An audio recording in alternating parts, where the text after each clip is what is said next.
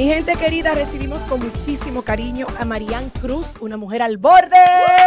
¡Hola! Hablando de dominicanidad, porque estamos adelantándonos al Día de la Patria. Pero por supuesto. Qué yo- mejor momento para que nos presentes y nos cuentes de esta nueva temporada. Bueno, feliz de poder estar aquí con ustedes, mis mujeres al borde que me han apoyado siempre y estoy de vuelta para contarle que estamos con la segunda temporada Qué de Dominicanos chulo. a Simple Vista, recordando que estuvimos en Nueva York en el año 2022, en el 2023 nos fuimos a Madrid, España. Bellísimo. Filmamos y precisamente con la intención de que en el mes de la patria podamos compartir más de 30 historias de dominicanos que se destacan en la ciudad de Madrid. Nos quedamos muy cortos, tuvimos que seleccionar entre todos, pero qué maravilloso es poder conocer tantas historias, esa superación, todo lo que han pasado y lo más importante, que sin importar dónde están, qué tanta lucha han cogido y todo lo que se han superado, siempre quedan con ese, ese vínculo y ese amor tan especial por su tierra, República Marian, yo Dominicana. siento que cuando uno emigra, porque lo viví también en Puerto Rico,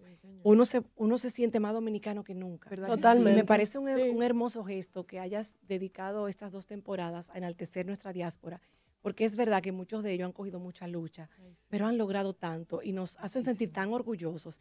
Cuéntanos cuál ha sido esa historia. Yo sé que todas, pero dime algo que te haya marcado de manera especial de esta temporada. Wow, es que, sabes que comparando con Nueva York es, es diferente, porque Estados Unidos, por lo que pudimos apreciar, y específicamente la ciudad de Nueva York, abraza mucho de, a, a inmigrantes. Ajá. Comprende las diferencias, las acepta. Es como la capital mundial. Exacto, entonces es Ujú, una capital del mundo, como que lo abrazan más. Sin embargo, en Madrid, aunque por supuesto se han insertado, han hecho camino, eh, han tenido que adaptarse más al sistema, a lo que ha pasado, a todo. De hecho, tú te das cuenta hasta en sus acentos y te choca porque tú estás entrevistando a un dominicano y tú dices, Eso, "Pero, eso tiene un nombre, el colonialismo. ¿verdad que sí? Entonces, eh, tú, tú dices, pero yo estoy hablando con un español, estoy hablando con un dominicano, pero es porque ellos han tenido que adaptarse para poder insertarse de una manera más importante. Y tú lo comprendes porque ellos te lo explican y dices, wow, es verdad, has tenido que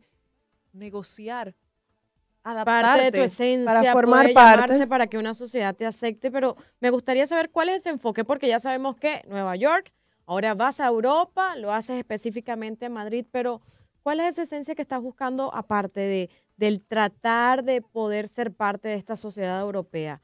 Mira, los retos allí han sido, aunque es el mismo idioma, pero han tenido que cambiar el acento, han tenido...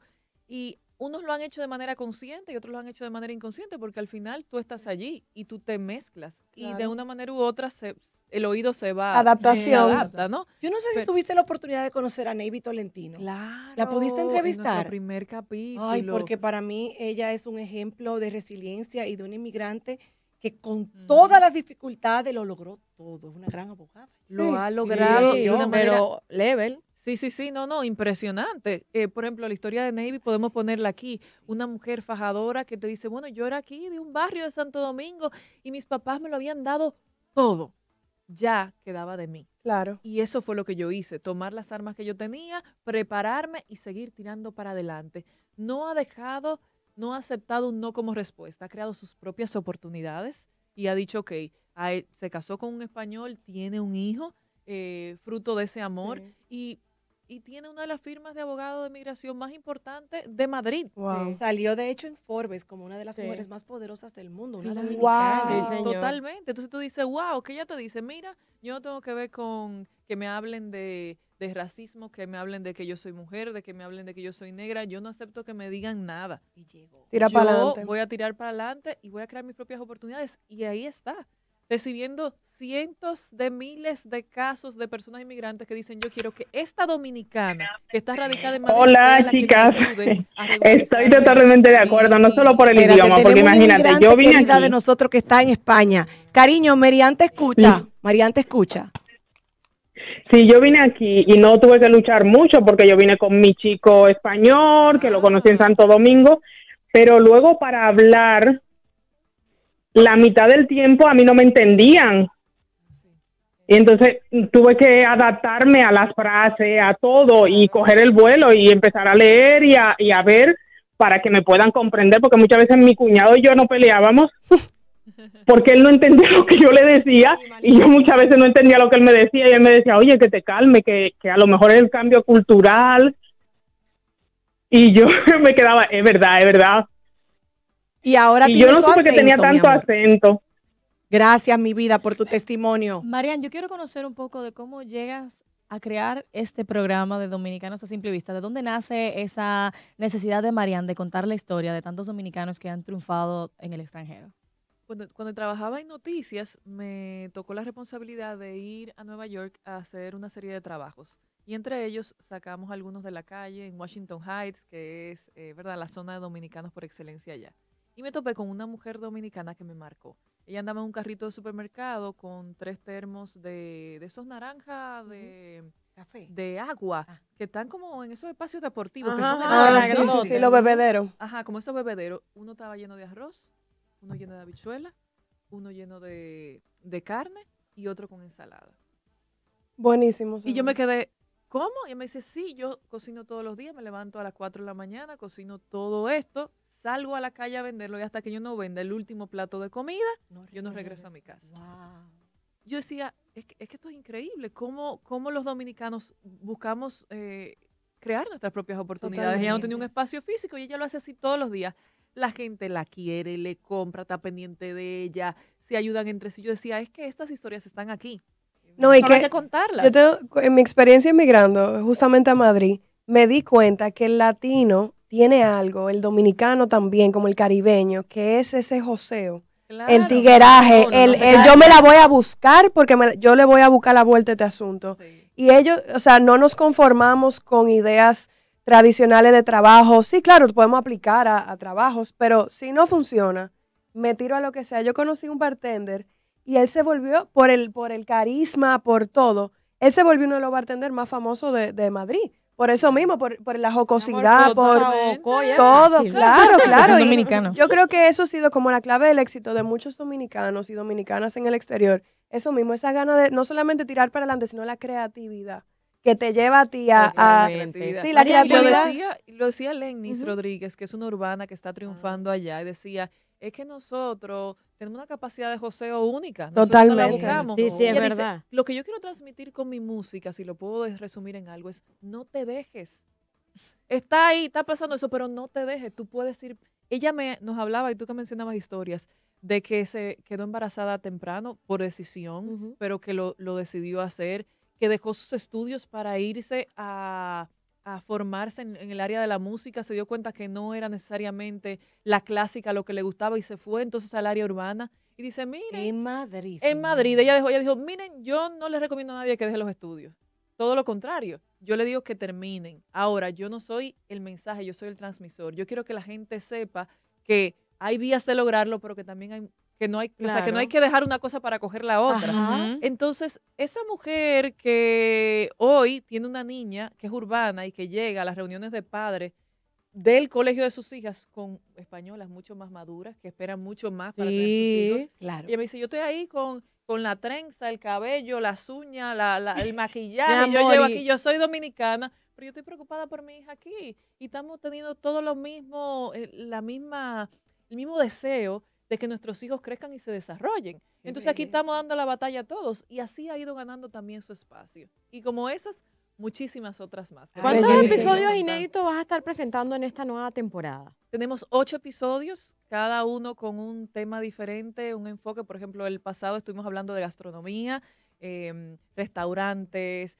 reposterías, hotelería, turismo y dominicanos que están allí, porque tenemos el único dominicano que está en la Organización Mundial del Turismo.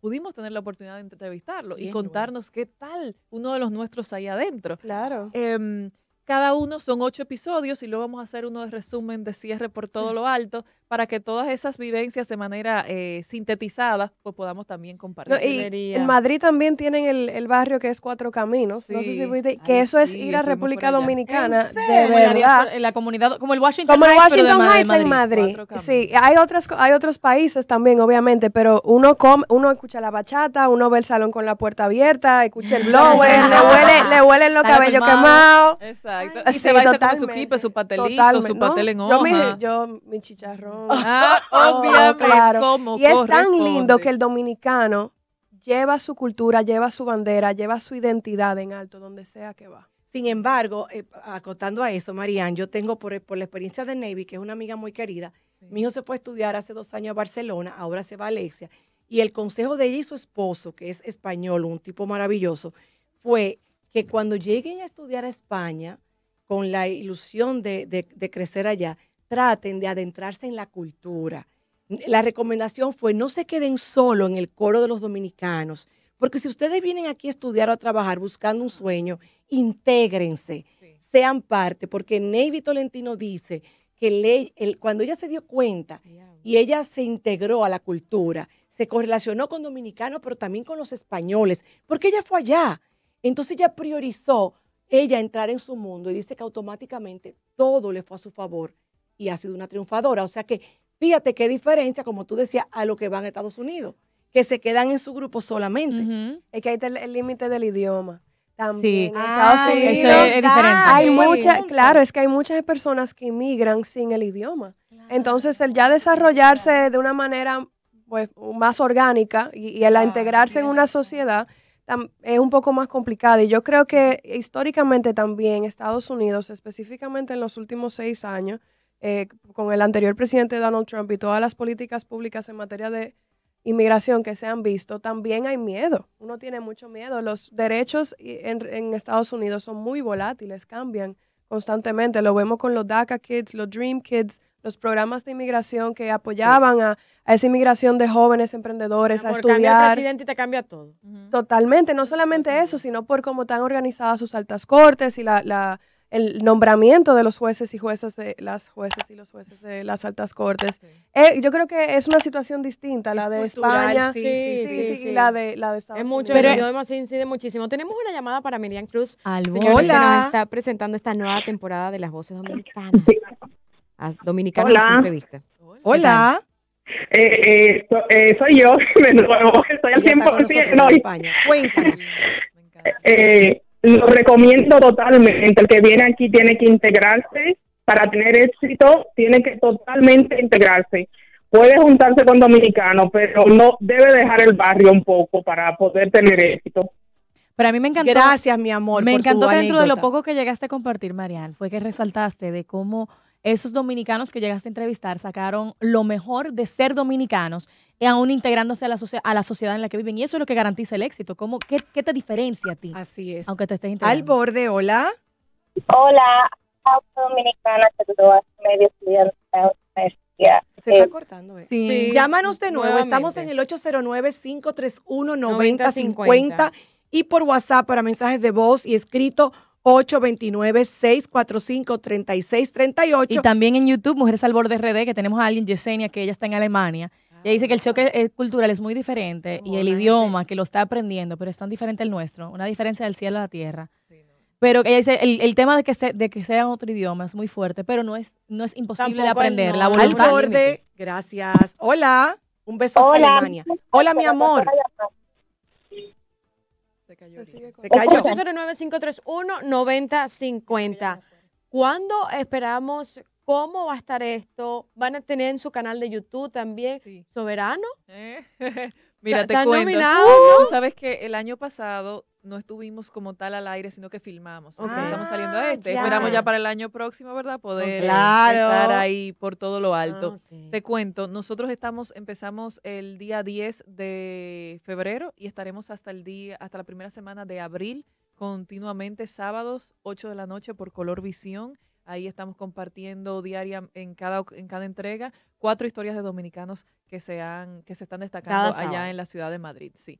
Wow. Estamos ahí activos en las redes sociales, como tú bien mencionamos, mencionabas, en A Simple Vista RD. Estamos en todas las redes sociales, nuestro canal de YouTube para los que ahora nos están escuchando. Si de pronto no han podido diáspora. escuchar, Claro. no han podido ver, pues entonces entren allí al canal y podrán ver el, el episodio íntegro, pero también las historias de manera individual. Qué Para si quieren, "No quiero ver el de. Navy, no quiero escuchar el. Sí, el sí. De la pasada pueden- sí, temporada se pueden también, identificar más también con, cierta No, sí, historia. y creo que es muy importante porque hay más personas inmigrando todos los días y poder ver casos de éxito que se ven, que se Su parezcan fórmula, a nosotros. es que lo que te digo, es la fórmula de ellos. O sea, a veces tú, tú estás allá y tú dices, ¿cómo lo ¿Cómo logro? lo bueno, pero si yo escucho cómo Navy lo logró, yo digo, ah, bueno, pero ¿cómo Algo tomo ese ejemplo? ¿Qué puedo hacer? Es otra área, pero yo quiero escuchar, no, mejor en, en eh, por en ejemplo, la música, como Ajá, la música claro. tenemos, y este, por ejemplo, este sábado tenemos a, es una historia, es de Dominicana solamente. En este caso tenemos mujeres que se han destacado y que apoyan mucho a la feminidad. Y de cómo Ay, mujer se apoya a mujer. Ah, ¡Mujeres al borde! Mujeres al borde. Yeah. correcto. Marian, de verdad, gracias, cariño, por esta entrega tan dominicana y que le hace tanto bien a nuestra gente que se celebre esos logros, esa resiliencia de nuestros dominicanos. De verdad, yo, yo me emociono mucho cuando pienso en esa gente luchadora y qué bueno que se les reconozca y que sus historias nos lleguen. Totalmente. Querida, ¿cómo seguimos de nuevo el programa y a ti también como comunicadora? Bueno, síganos, apóyennos, rieguen la voz porque lo bueno tiene que hacer más bulla que lo negativo. Así que Sí, es nuestra señor, responsabilidad buenos somos multiplicarlo. más. Somos más. Así que vamos a hacerlo a simple vista RD en Instagram, Twitter, TikTok. Eh, estamos también asimismo en YouTube con nuestro canal muy activos. Así que por favor acompáñenos. Marian Cruz G es mi usuario. También estoy compartiendo esas historias. Y les invito a que este sábado, 8 de la noche, por Color Visión, a todas nuestras mujeres al borde que nos están escuchando y viendo también, tenemos allí la historia de la primera dominicana que ha presidido la Asociación de Mujeres Empresarias en Madrid. ¿Qué? Wow. Sí, ¡Qué señor. emoción, qué Es una- orgullo! la historia de ella es impresionante. El no- les adelanto. una cita obligada. Sí, sí, sí, le Qué adelanto brevemente. Se quedó con sus dos hijos allá sin trabajo y sin papeles y hoy es una empresaria destacada liderando una asociación de mujeres empresarias, la Asociación de Wow. Mujeres Empresarias allá. Y dice, mira, aquí nosotros tenemos una responsabilidad de mujer apoyar mujer. Señores, un toque de queda este sábado a las encanta. 8 en Bonito. Color Visión. Un ¿eh? aplauso, por Un favor, aplauso para. Marian por un hermoso trabajo que honra nuestra dominicanidad en el exterior. Nos vamos a la pausa y volvemos por si no te has conectado.